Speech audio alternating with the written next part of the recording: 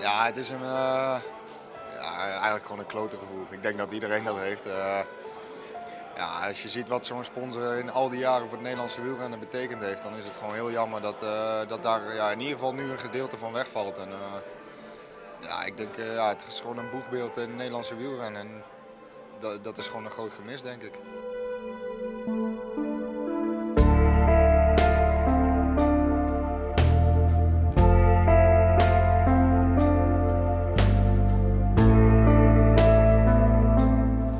Ik heb uh, zes jaar in deze ploeg gereden en ik heb echt ja, ja, veel te danken eigenlijk aan de ploeg. Ik, uh, ik was, toen ik als junior werd gevraagd om bij de belofte te komen rijden, was ik heel erg verrast. Want ik, ja, ik vond mezelf niet zo'n bijzondere renner. En ik ben toch wel denk ik uitgegroeid, uh, in ieder geval de eerste jaren, tot iemand die er wel toe deed. En, ja, daar heb ik ze wel heel veel aan te danken. En, ja, ik, ik, voor mij is de ploeg gewoon echt ja, het is een boegbeeld. Ik heb al, de, al die jaren dat ik elke dag dat oranje, eh, oranje pak aan mag doen, ja, dat is gewoon geweldig.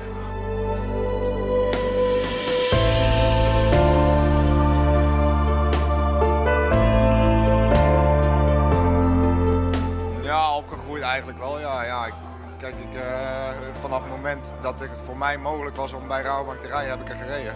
Als eerstejaarsbelofte en tot daar nu dan. Dus ik ben wat dat betreft er wel een beetje mee opgegroeid. Het gaat, uh, ik ga ook weg nu bij de ploeg dan, dus het gaat wel even uh, omschakelen worden denk ik als ik uh, 1 januari ja, andere, andere kleuren rondrijd.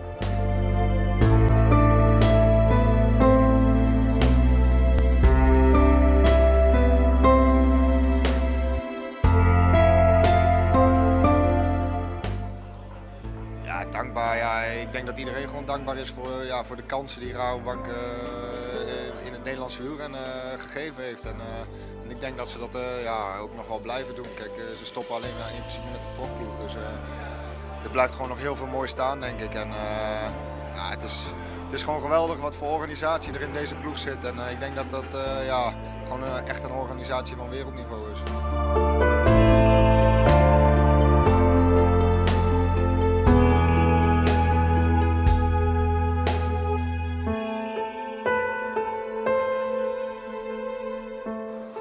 Dat is, uh, dat is een moeilijke. Ik denk, uh, ja, ik heb veel mooie momenten gehad, maar ik heb in uh, eh, 2008 een heel mooi seizoen gehad en in 2009 het hele jaar eruit gelegen met Pfeiffer. En dat ik ja, het vertrouwen heb gehad altijd van de ploeg en dat ik in 2010 op een gegeven moment toch weer op het hoogste ravotje stond en, en, en koers won. Ja, dat, dat was wel een mooi moment voor mij, denk ik.